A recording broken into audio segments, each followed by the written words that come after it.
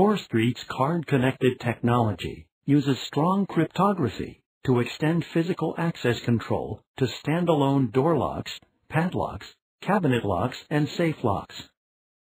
Industry studies report that only 3 to 4% of all locations are electronically secured. Corporate security officers want to secure more locations and assets, but the cost of installation and wiring, especially for remote locations, has so far proven prohibitive. Within a CoreStreet-enabled access control system, the Physical Access Control System, or PACS, communicates with standalone electronic locks by reading and writing digitally signed data, such as privileges and logs, to and from smart credentials. Upon entering headquarters in the morning, privileges are written on the card, and any logs from the previous day are submitted to the PAC system.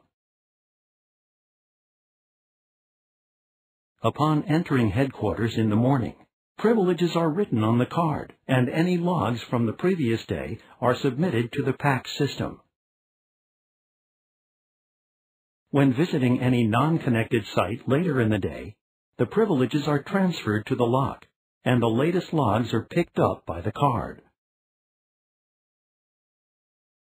In this way, cardholders become an extension of the physical access network, where cards, instead of wires, carry information to and from the standalone locks in a modern version of SneakerNet. So when an employee's access gets suspended or revoked, this change gets carried around in a viral way to the many disconnected sites by all the very people who use their cards to obtain access to these sites. CoreStreet's card-connected solutions provide affordable security by eliminating the wiring of traditional access points and through integration with existing access control systems. CoreStreet-enabled solutions are created using standards-based protocols that function with MIFARE, DESFire, as well as FIPS 201 cards, and the audit data collected helps satisfy regulatory compliance requirements. For more detailed information concerning our breakthrough card-connected technology, please contact CoreStreet.